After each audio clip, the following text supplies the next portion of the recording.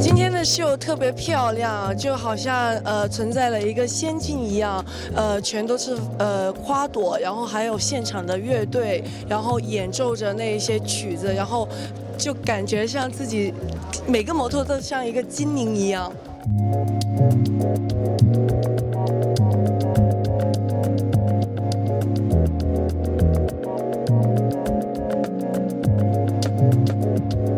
Questa collezione nasce da, un- da racconti di Ovidio, cioè dalla metamorfosi. E io poi a New York ho incontrato una- un'artista straordinaria che si chiama Katie Rutenberg e ho scoperto che anche lei lavorava su questo concetto della metamorfosi. I suoi abiti sono veramente delle storie, dei racconti perché sono tridimensionali, sono abiti in ceramica bellissimi e quello che ho fatto è proprio raccontare come fa forse un pittore con la tela, un, uno scrittore con il foglio, gli abiti diventano veramente elemento di racconto. Ogni abito è una storia, ogni abito ha una cosa e soprattutto nel finale vedrete questa donna che cambia completamente perché ci sono abiti che sono pezzi unici realizzati interamente a mano, intagliati, ricamati, dipinti, cuciti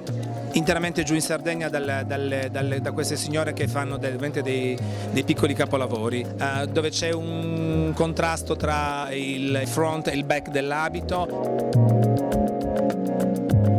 Questo è un abito interamente dipinto a mano,